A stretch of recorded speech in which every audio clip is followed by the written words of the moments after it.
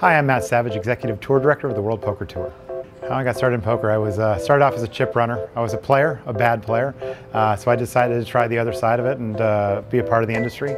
I was lucky enough to, you know, work at a place in San Jose that, uh, you know, was there was definitely some room for movement. But uh, what I really wanted to be was a poker dealer, and uh, I did it for a while. I loved it, but developed carpal tunnel, and because of that, I ended up going on the floor.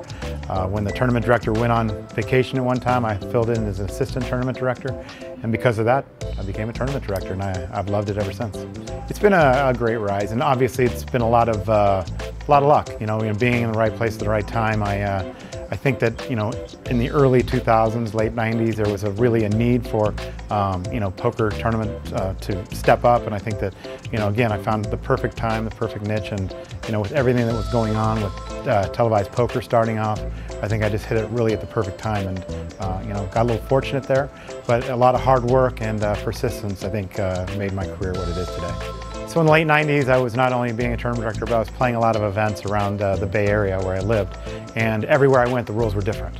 So um, I really had the goal of trying to standardize something. And I came down to the World Series for the first time ever in 2000 to try and uh, achieve that goal and talk to the tournament directors there to see what happened uh, Bob Thompson and his son Robert Thompson basically, you know, kind of laughed at me a little bit and said that, you know, that has been tried before, there's no way it would ever happen. So I was lucky that I was friends with Linda Johnson uh, and Jan Fisher and Dave Lamb at the time. They had a World Poker Industry Conference.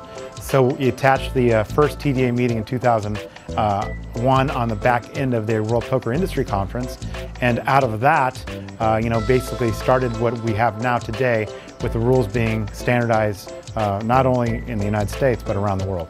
Yeah, I mean, the TDA has been involved with, you know, not only poker rooms and poker room directors and tournament directors, but also dealers and poker players. So I think we've taken the input of a lot of different people. Uh, this year we had our TDA summit here at uh, ARIA, and, you know, we were very fortunate to, to be uh, given that opportunity to, to have it here. Uh, you know, we're not for profit. We don't uh, charge any money. So everybody that comes here pretty much comes on their own dime. And, uh, you know, it's very lucky that we have a venue like the ARIA to do that. But I think that it's changed over time. Uh, we've really gotten everybody focused on making it the same for everybody.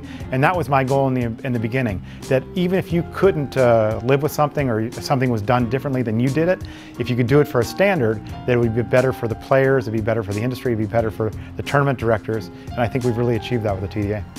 If I could pick one thing that, you know, basically started my career, would be the Tournament Directors Association, obviously. But I think that, you know, I had a lot of initiatives uh, that I've done over the years. I think I've been really big on structures and being player friendly and adding levels and making things, you know, that, you know, the chips had always been, you know, basically dollar for dollar. But now uh, people are giving more and more chips. I think that we need to go probably go the other way and give less chips because I think we can make great structures with that. But I think we've kind of passed that point. But then I started the reentry events uh, at the Commerce in uh, 2009, and uh, you know that kind of really changed the whole industry. So I don't know if I'm proud of it because I think that uh, you know some reentries have gone too far, but I think that would probably be my biggest initiative. But also the structure help. I think that you know some of the things and the rules uh, are all big parts of my career that pretty much set poker uh, tournaments and poker itself on a path that's been better for everybody.